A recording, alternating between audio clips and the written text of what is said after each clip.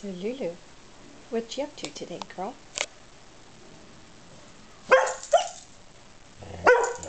Really?